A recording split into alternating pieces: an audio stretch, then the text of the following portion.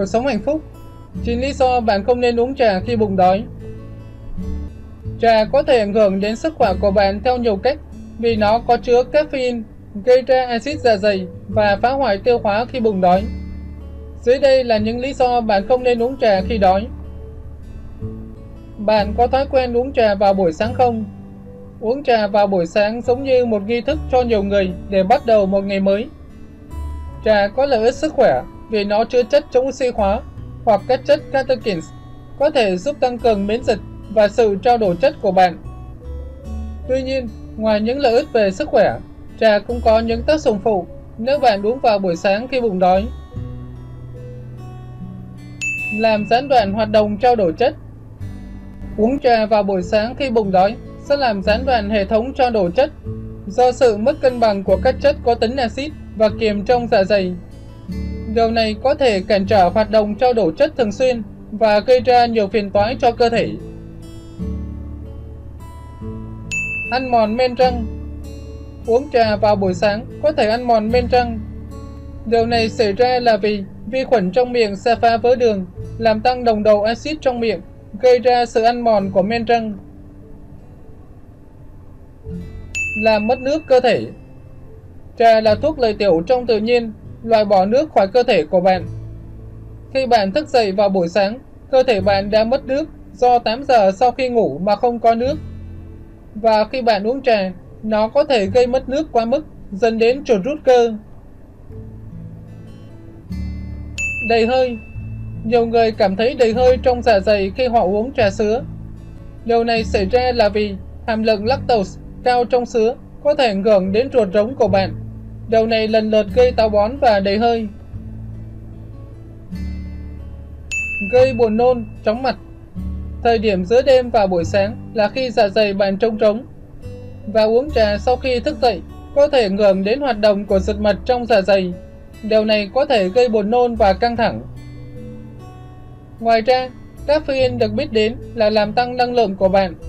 Tuy nhiên, uống trà khi đói sẽ có các phản ứng phụ như buồn nôn, chóng mặt và khó chịu. Trà sữa gây mệt mỏi Nhiều người thích uống trà sữa, tuy nhiên có thể bạn không biết rằng uống trà sữa khiến bạn cảm thấy mệt mỏi vào buổi sáng. Trà đen có thể gây trứng bụng. Nếu bạn đang nghĩ uống trà đen vào buổi sáng sẽ có lợi thì bạn đã sai. Trà đen có thể có lợi cho sức khỏe, nhưng uống trà đen vào buổi sáng có thể gây ra trứng bụng và có thể giảm sự thèm ăn của bạn. Gây lo lắng Uống trà khi đói sẽ có tác dụng phụ lên cơ thể. Những ảnh hưởng này có thể dẫn đến lo lắng và các vấn đề khác liên quan đến giấc ngủ. Nếu bạn đang có kế hoạch uống trà vào buổi sáng, bạn nên uống nó sau khi ăn sáng. Làm giảm hấp thụ sắt Trà xanh có thể làm giảm khả năng hấp thụ sắt của cơ thể. Vì vậy, những người bị thiếu máu không nên uống trà khi đói, vì nó có thể làm giảm tỷ lệ hấp thụ sắt trong cơ thể từ các nguồn thực phẩm khác.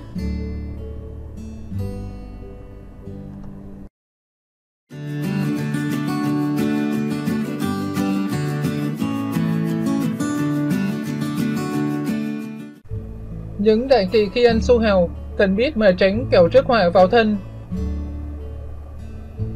Su hào cải thiện quá trình tiêu hóa, giúp giảm cân, ngăn ngừa ung thư, tăng cường miễn dịch.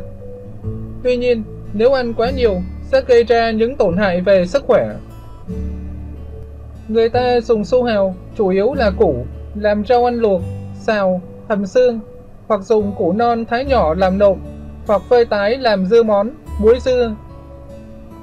Ngoài chức năng như là một món ăn phổ biến Su hào còn được biết đến là một loại củ thuộc họ nhà cải bắp và cũng có khá nhiều tác dụng chữa bệnh. Theo Tây y, su hào có các thành phần chính gồm albumin, đường, chất xơ, canxi, phosphor, sắt, vitamin C, axit nicotic.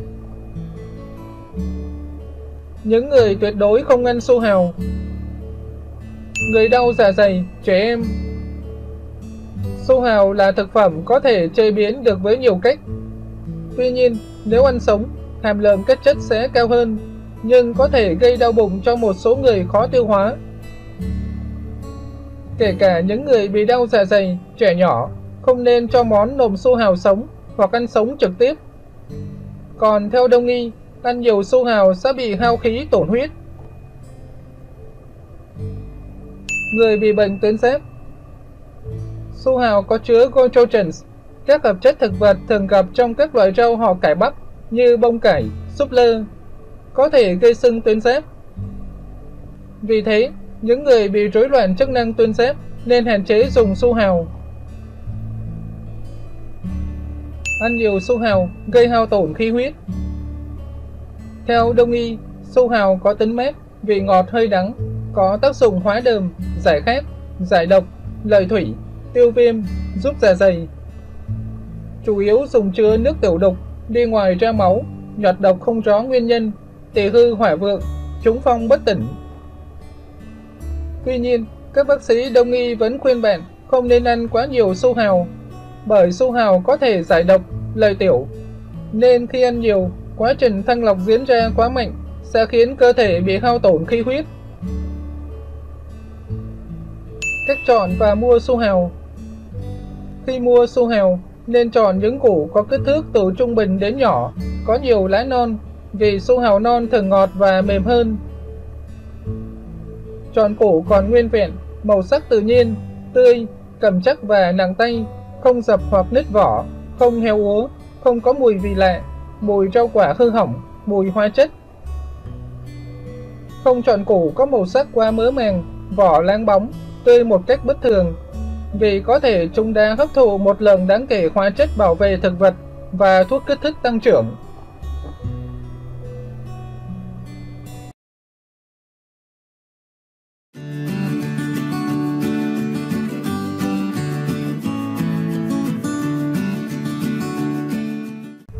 Điều đại kỵ khi ăn khoai tây, ai cũng cần biết để tránh cả hối hận cũng muộn.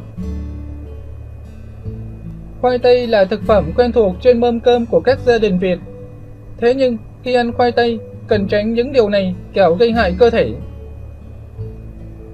Ăn khoai tây héo Khoai tây là loại thực phẩm tiện dụng và có thể tích trữ được trong nhiều ngày. Vì thế, rất nhiều gia đình có thói quen mua nhiều khoai tây và tích trữ.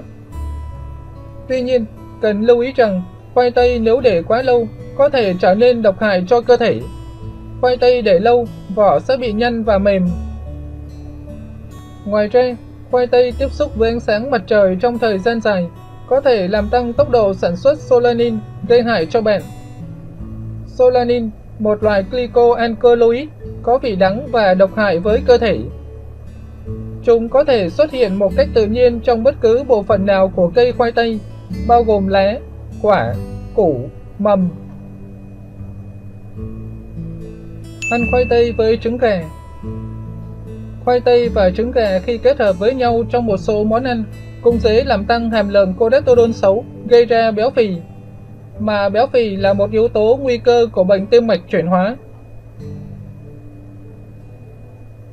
Ăn khoai tây cả vỏ hay khoai tây đông lạnh để lâu trong ẩm thực với khoai tây, chú ý không nên ăn vỏ khoai tây, không nên ăn khoai tây đã để lâu, không nên ăn khoai tây để đông lạnh vì dễ gây độc đối với cơ thể con người.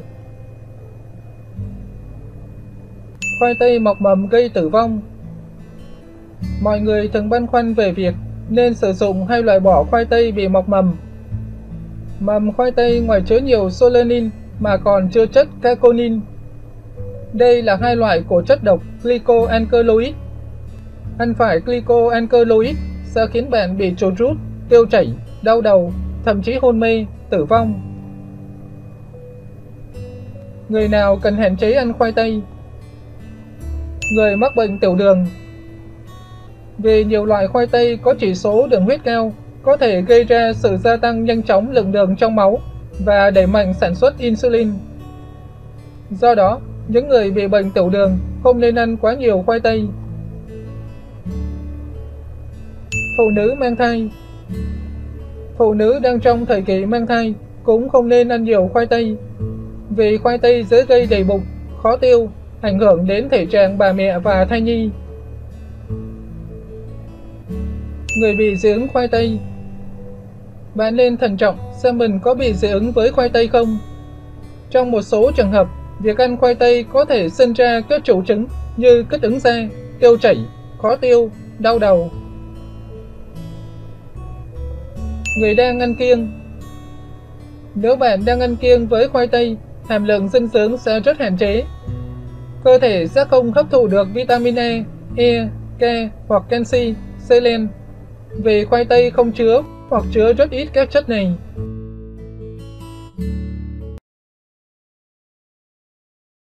Xin cảm ơn các bạn đã quan tâm lắng nghe. Các bạn nhớ like và subscribe kênh của mình nhé. Xin cảm ơn các bạn.